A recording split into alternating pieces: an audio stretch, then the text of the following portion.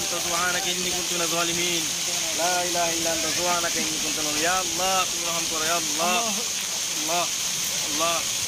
প্রিয় দর্শক, আপনারা দেখতেই পাচ্ছেন গভীর রাতে কি ভয়াবহ অবস্থা। আকাশের কি অবস্থা দেখতেই পাচ্ছেন, বজ্রপাত একটু পর পরেই। আমরা খুবই আতঙ্কের মধ্যে আছি, দেখতেই পাচ্ছেন।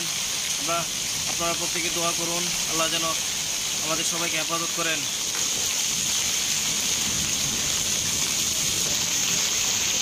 সকাল থেকেই এমন পরিস্থিতি। আজ সারা দিন বৃষ্টিপাত হচ্ছে। এখন পর্যন্ত কমেনি। আর এখনকার অবস্থা আপনারা তো দেখতেই পাচ্ছেন।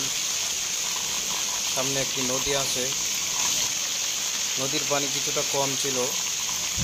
গতকাল নদীর পানি কিছুটা কম ছিল।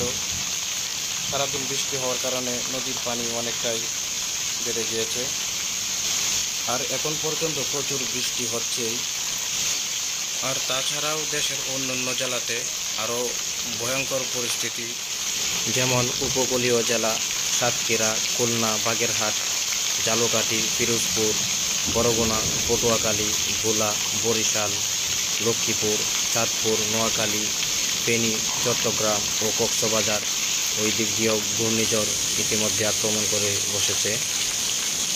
তাই আমরা প্রত্যেকেই বেশি বেশি করে দোয়া করি। আল্লাহ যেন আমাদের সবাইকে হেফাজত করেন।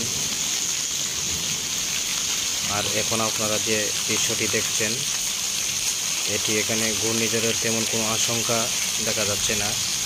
তবে বজ্রপাত মাঝে মাঝে হচ্ছে আর আকাশ কীভাবে বিদ্যুৎ চমকাচ্ছে আপনারা দেখতেই পাচ্ছেন। আর এটি হচ্ছে কিশোরগঞ্জ ডিস্ট্রিক্ট।